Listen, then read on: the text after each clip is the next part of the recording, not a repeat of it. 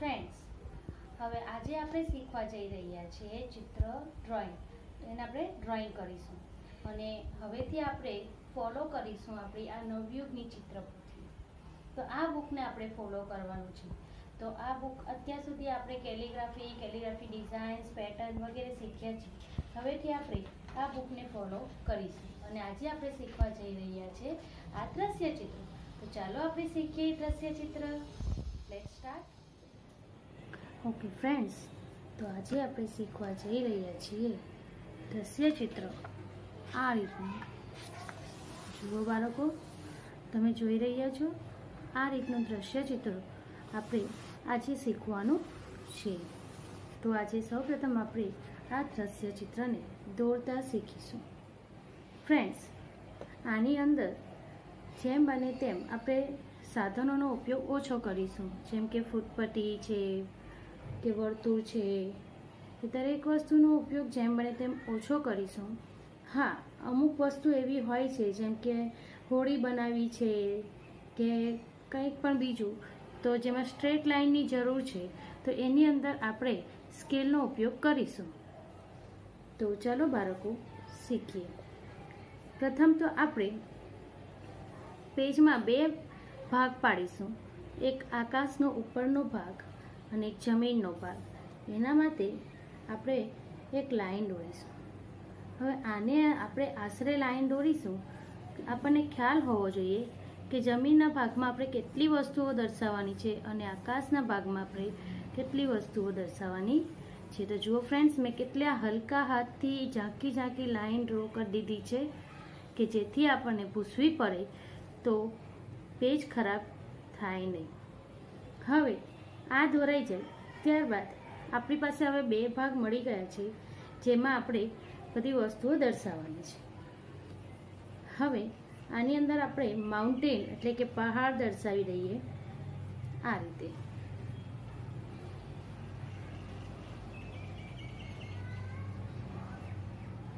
Second પહાડ આને joint રાખીને કરીશું. સિમ્પલ છે. તો આ પહાડ બાળકો તમારે પણ મારી જેમ પેન્સિલને આ રીતે જ પકડવાની છે અને ઝાંખી લાઈન જ દર્શાવવાની છે. બહુ પેન્સિલને ઘસી ઘસીને આપણે ચિત્ર દોરવાનું નથી. હવે નેક્સ્ટ અહીંયા એક ડુંગર છે, તે દર્શાવી દઈએ. આ રીતે. બરાબર? હવે આટલી વસ્તુ થઈ ગયું. આપણું ટ્વેન્ટી થર્ટી પર્સન્ટ ચિત્ર દોરી દીધું આપણે. હવે આપણે દર્શાવવાનું છે અહીંયા એક હોળી. બાળકો, મેં તમને કહ્યું હતું એ પ્રમાણે સ્કેલનો ઉપયોગ માત્ર આપણને જો સ્ટ્રેટ લાઈન દોરવી હોય ત્યારે જ કરવાનો છે. તો આની અંદર આપણે સ્કેલનો ઉપયોગ તમે ધારો તો કરી શકો છો. અને જો તમને સ્ટ્રેટ લાઈન ફાવતી હોય, તો તમે સ્કેલનો ઉપયોગ નહીં કરો તો પણ ચાલશે. તો આ રીતે સ્ટ્રેટ લાઈન કરવાની છે. હવે હોળી તો આપણે શીખી ગયા છીએ બાળકો ઘણીવાર.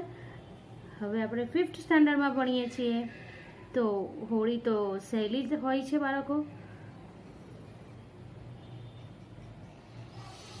બસ, હવે આ બે લાઈન અહીંથી જોઈન્ટ કરીશું.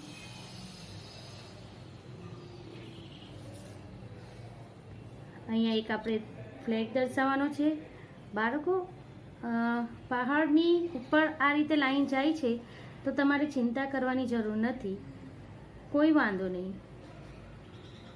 હવે આપણે અહીંથી લાઈન જોઈન્ટ રાખીશું અને નીચેથી લાઈન ફોડી રાખીશું. આ બની ગયો ફ્લેગ સિમ્પલ છે ને? હવે વન સેન્ટીમીટર જેટલી જગ્યા છોડીને આપણે અહીં આગળ લગભગ ટુ સેન્ટીમીટર જેટલી જગ્યા છોડીને તમારે આશરે જ કરવાનું છે બાળકો, કોઈ ફિક્સ માપ રાખવાનું નથી. અને આ રીતનો એક શેપ દોરીશું. હવે થોડું આનાથી ઊંચું રાખીને બીજો એક શેપ આપણે આ રીતે દોરીશું. અને આને અહીં આગળ. જોઈન્ટ કરીશું?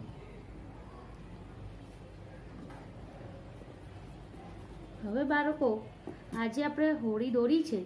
એની અંદર જેટલી બી લાઈન છે, એને આપણે રબ આઉટ કરી દઈશું. મેં એટલે જ તમને સ્ટાર્ટિંગમાં કહ્યું હતું કે આપણે ઝાંખું દોરીશું કે જ્યારે બી રબ આઉટ કરવાનું આવે, તો આપણે એને ઇઝીલી રબ આઉટ કરી શકીએ. હવે, હોળીની અંદર તમને પસંદ હોય એવી પેટર્ન દોરી શકો છો. આપણે ઘણી બધી પેટર્ન શીખી ગયા છે કેલિગ્રાફી શીખી ગયા છે, એનો યુઝ તમે આની અંદર કરવો હોય તો કરી શકો છો, પણ કલર કરવા બાદ. હવે અહીંયા થોડું પાણીની હલચલ બતાવવા માટે પાણીની અહીંયા થોડી લાઈન બતાવીશું. હોળીના માપની લાઈન પછી સહેજ એનાથી મોટી લાઈન, પછી સહેજ એનાથી મોટી લાઈન અને લાસ્ટ ફરી એક એનાથી સહેજ મોટી લાઈન.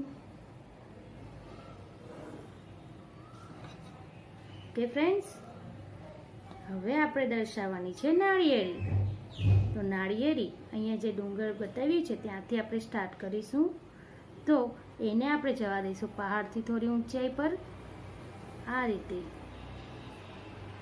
ઉપરનો ભાગ સાંકડો રહેશે અને નીચે આવતા થોડું પોળો થઈ જાય છે થળનો ભાગ. હવે નાળિયેરી આપણને ચોપડીમાં બતાવી છે, જો બાળકો તમને એ નાળિયેરી ફાવતી હોય તો તમે એ રીતે દોરો. અહીં હું તમને બીજી નાળિયેરી પણ બતાવું છું. બરાબર છે? આ છે નાળિયેર. નાળિયેરી પર નાળિયેર તો હોવું જ જોઈએ ને? તો આ છે નાળિયેર. વન ટુ આની અંદર તમે જેટલા લીવ્સ લેવા માંગો છો, નાળિયેરીના, એટલા પાન દર્શાવી શકો છો. તો બસ કાંઈ કરવા નથી. આવું તો તમને આવડતું જ હોય.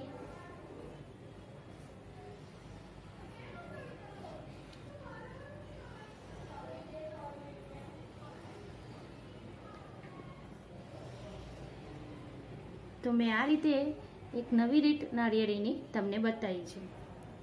સેમ ઉપરથી સાંકડું અને નીચે આવીને થડ પોળું. આની અંદર પણ નાળિયેર દર્શાવીએ. ફરી એ જ આમાં આપણે થોડું, આ નાળિયેરીને નાની બતાવી છે. એટલે એના પાન થોડા નાના રાખીશું. આ રીતે. પાનને આની પાછા દર્શાવવું છે. આ રીતે તમે અડધો પોર્શન પણ દર્શાવી શકો છો. ફ્રેન્ડ્સ, નેચર છે, નેચર ડ્રોઈંગ છે. માટે આવી રીતે થોડા ફેરફાર દર્શાવો તો સારું દેખાશે. તો આ થઈ ગઈ નાળિયેરી હવે આ નાળિયેરીની અંદર પણ જેટલા જેટલી લાઈન દેખાય છે માઉન્ટેનની, એ આપણે રબ આઉટ કરી દઈશું.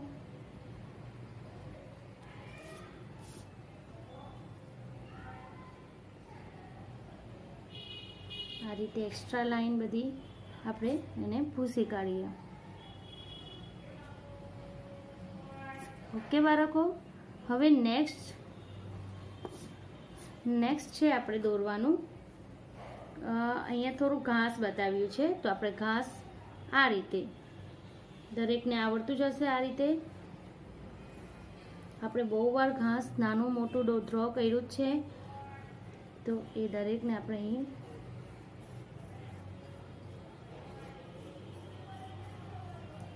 નારિયેળી પાસે દર્શાવીશું. અહીંયા થોડું ઘાસ આ રીતનું દર્શાવીએ. હવે થોડા પથ્થરો દર્શાવીએ. પથ્થરો નાના મોટા. જરૂરી નથી કે ચોપડીમાં જે રીતના આપ્યા છે એવા જ પથ્થર આપણે દોરીએ. ઓકે? હવે અહીંયા થોડું ઘાસ બતાવી દઈએ ફરીથી. આ રીતે.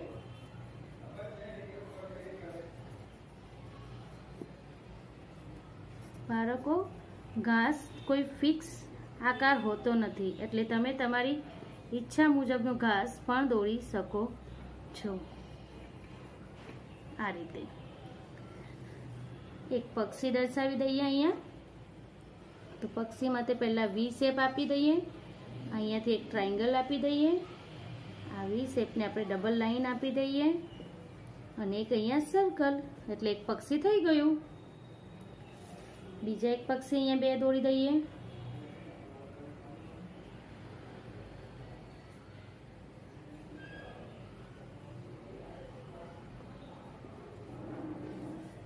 ઓકે. હવે પહાડ, આપણી પાસે પહાડની લાઈને થોડી ડાર્ક કરી દઈએ કે જેથી આપણને ખ્યાલ આવે. હવે પહાડની અંદર તમે જુઓ છો, તો થોડી આ રીતની લાઇન્સ આપી છે આપણને. એ તમારે વોટર કલર કલર કર્યા બાદ સ્કેચ પેનથી લાઈન આપવી હોય તો તમે આપી શકો છો. આ રીતે. ઓકે ફ્રેન્ડ્સ તો અહીં આપણું આ દ્રશ્ય ચિત્ર કમ્પ્લીટ થઈ ગયું છે. ફ્રેન્ડ્સ આની અંદર અત્યારે આપણે બ્લેક સ્કેચ પેનથી આઉટલાઇન કરવાની નથી. કારણ કે આની અંદર આપણે વોટર કલર કરીશું. એટલે હંમેશા જ્યારે પણ આપણે વોટર કલર કરીએ, ત્યારે સ્કેચ પેનની આઉટલાઇન વોટર કલર કર્યા બાદ એ સુકાઈ જાય બાદ કરવાની રહેશે. માટે અહીં પહેલાં આપણે ચિત્ર દોર્યા બાદ વોટર કલર કરીશું અને એ સુકાઈ જાય પછી જ સ્કેચ પેનની આઉટલાઇન આપીશું. બાળ મિત્રો, આની અંદર તમે ધારો તો કોઈ પણ ઇફેક્ટ આપવી હોય, જેમ કે પહાડની છે, કે આની અંદર તમારે કોઈ કેલિગ્રાફી આપવી છે હોળીમાં, કે નાળિયેરીમાં કોઈ ઇફેક્ટ આપવાની છે, એ બધું જ કે આ ઘાસનું કોઈ ઇફેક્ટ આપવી છે, તો એ દરેક વસ્તુ વોટર કલર કર્યા બાદ સુકાઈ જાય બાદ આપણે કલરિંગ સ્કેચ પેનનો ઉપયોગ કરી શકીએ છીએ. એ બધી ઇફેક્ટ આપવા માટે. માટે બાળકો, આ ખૂબ જ સહેલું છે. તો તમારે ઘરે આ ચિત્ર, તમારી ચિત્રકામની નોટબુકમાં દોરવાનું રહેશે. ચલો બાળકો, આજ માટે આટલું જ. તમારો ખૂબ ખૂબ આભાર. આ ચિત્ર ધ્યાનપૂર્વક સાંભળવા માટે. ચલો ને મળીશું નેક્સ્ટ નવા ટોપિક સાથે. ત્યાં સુધી આવજો.